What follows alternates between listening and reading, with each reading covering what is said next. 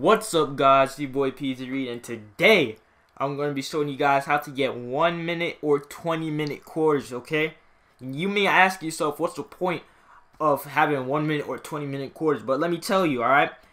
1 minute quarters, you can easily finish the game super quick and then go to the team facility and grind for your badges there. And with the 20 minute, I don't know why you would do this, but 20 minute quarters you can grind for mad long and got a lot of points towards your badges. However, you gotta keep your sanity for 20 minute quarter because that's that's just OD long. You feel me?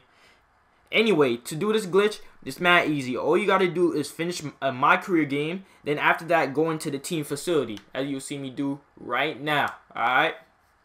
Alright, once you guys are in the team facility, all you have to do is press triangle, go to My Player Lab, or Y on Xbox, then go to My Player Lab.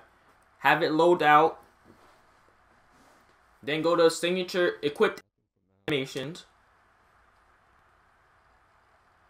Then go to Gameplay Moves, then jump Shots. Then move it to the right one time or the left one time, back out to the jump shot you um you had before. Have that load out. Once you're loaded in, walk it in, press triangle, go to options, then settings, then minutes, and there you go. It says one minute right there. All you guys got to do is keep doing this method, and you you'll get your badges much faster because the game's gonna end much faster for you guys. All right. So I hope you guys enjoyed the video.